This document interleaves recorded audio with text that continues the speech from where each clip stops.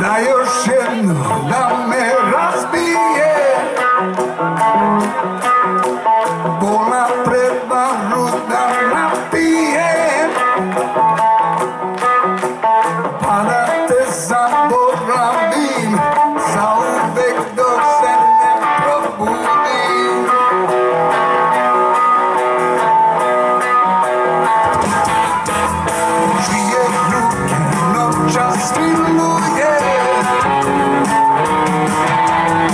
Kosa što na tuđem